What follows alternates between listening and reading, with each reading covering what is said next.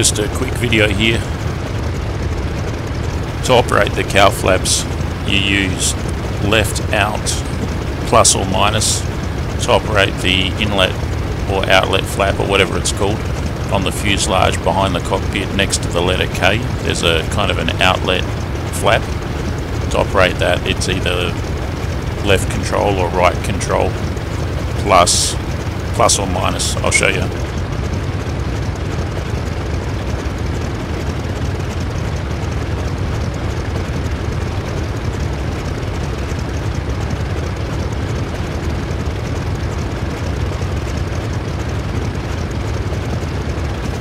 That's using right alt and plus or minus.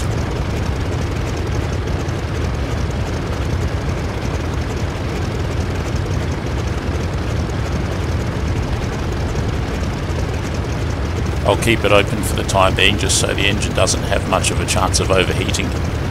I'm in a 1944 Burma Theatre of Operations skin by the way, looks good huh?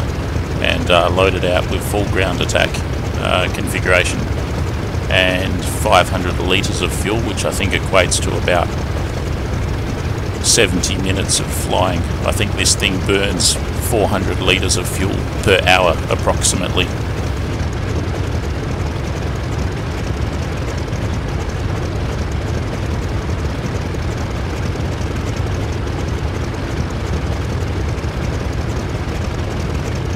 engine inlet cowl shutters. I don't know what that is. I think it's to do with the super turbocharger, something to do with cooling of the super turbocharger.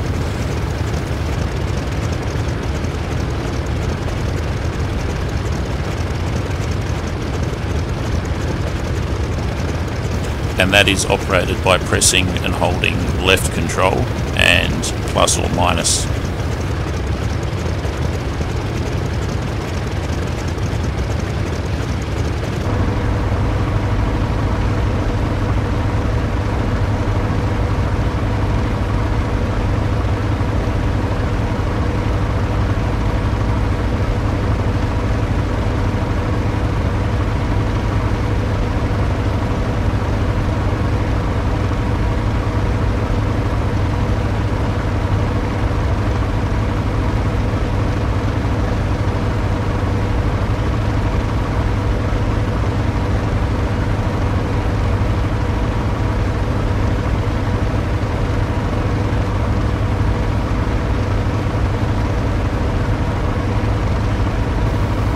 what I'm going to do now is a bit of an impromptu experiment. I'm going to take off with both of those flaps open so that there's less chance of an overheat and then I'm going to, once I've taken off, I'm going to put on full power, full boost and I'm going to shut both the cowl flaps and the those other flaps and we'll see what happens. The engine might overheat or not, I'm not sure. Let's give it a shot.